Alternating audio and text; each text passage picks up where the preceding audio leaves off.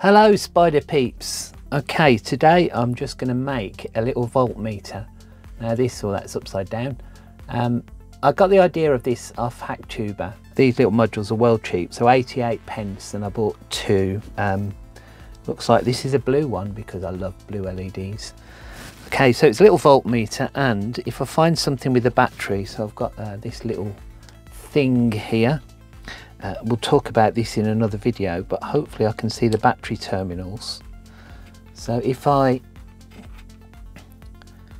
connect the positive and the negative to this. Okay, so a bit fiddly, which is the purpose of this video. Um, so you can see that if I come across and touch that, push it hard enough, I can get that to light up and show a voltage eventually but it's not easy. There we go. All right so little little voltage there. So that's showing 3.98 volts. A bit fiddly but pretty cool. Now I've seen these before and uh, a lot of them have had three wires but the fact that you've just got two wires Hacktube have just put crocodile clips on both ends. So I'm going to try that in this video but I'm going to use some of these Ali clips anyway. Um, I've bought two of these, so I'm going to make two of these, and I've got uh, two of these cables. So let's just chop those.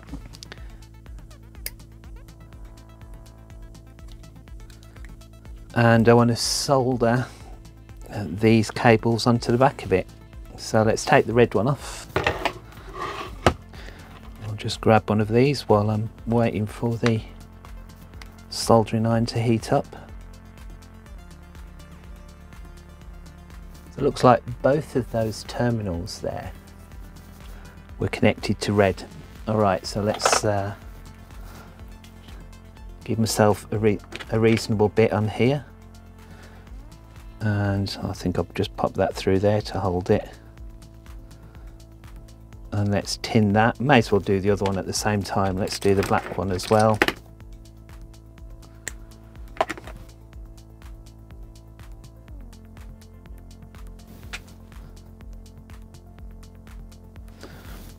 Okay, so let's solder this across the two.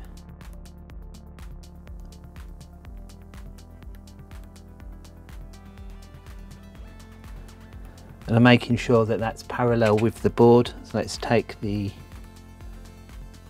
ground off and pop the ground on there.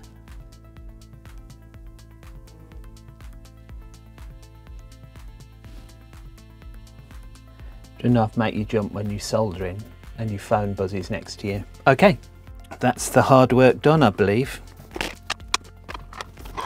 All right, so if I get my little battery back now, there's my reading off that battery, 3.92. Okay, right, so what Hacktuber did, which is the other cool thing, is that he put some shrink...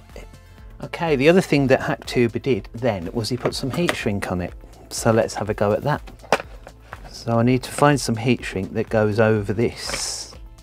So that's a bit too small. And the next one I've got up, I've got this quite big one here.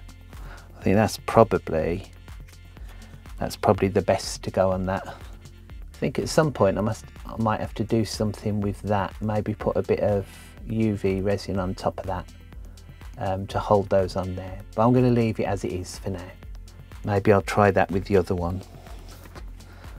So here we go. Let's pop him in there. And yeah, this is gonna just, this is gonna fit well, I think. And in fact, when I shrink this on, it might help. So I think that's a bit big. So let's just need to cut a little bit off that, I think. Not a huge amount. Let's try again.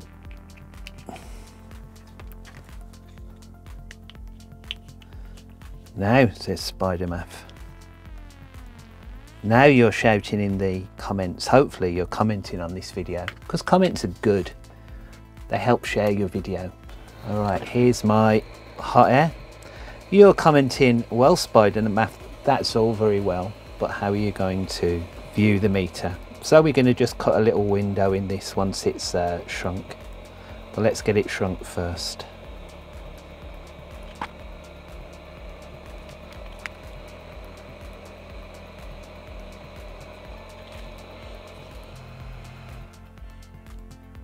So I think that's come out okay.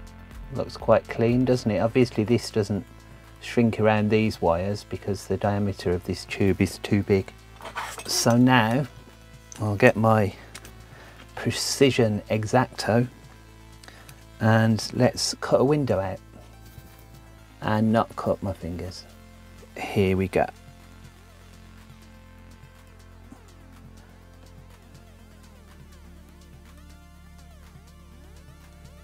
Now I want to cut this after it's shrunk, otherwise the window won't be square.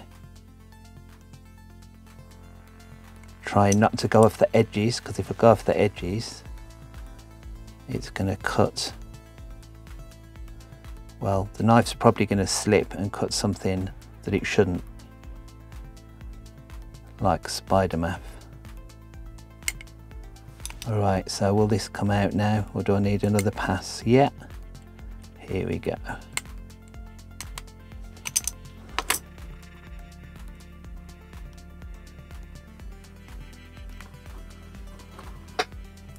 Yeah.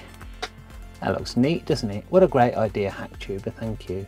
Okay, so let's find something to get a voltage off now.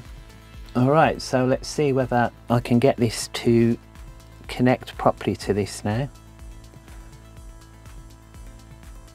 My ideal is that I don't have to hold this on, which is the whole point of it. And there we go. So that's clipped onto there and it's not wonderful. Let me just turn the lights off to show you better. And now I'm getting a voltage of 3 point, bit flickery, but 3.98 on my little voltmeter. Alright, so now if I'm doing experiments where I'm uh, discharging or charging things, I can keep this clipped on all the time and not have to use one of my other voltmeters. Alright, so I hope you enjoyed this little video, just making a little uh, crocodile clip voltmeter. I got the idea from HackTuber. Go and give him some love at his channel because he signposts loads of little AliExpress gadgets, so it's really good. But I mean, let's think about how much this probably cost uh, this probably cost uh, not a lot at all, maybe a couple of pence for the shrink wrap, but you might, I mean, I had that anyway, you might have a pack of that somewhere. And the big, the big shrink wrap, you don't get used, doesn't get used that often. So it was a good use for that. Um, so maybe 10p for that, a pound or so for the um, little meter, and then maybe another pound for these. So, for two pounds, I think you've made a useful little voltmeter that you can just leave clipped into a circuit. Um, yeah, what a great idea. All right, hope you enjoyed this. Uh, please give me a like, please comment how you'd use this or how maybe you'd have mounted it differently. Anyway, if you're not already subscribed, hit that button, it helps the channel. And all I've got left to say now is bye.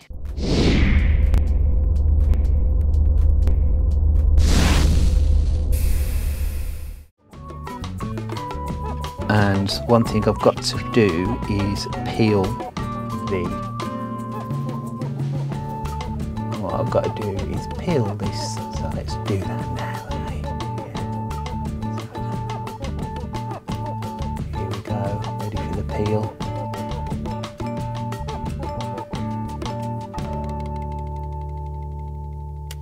ah yes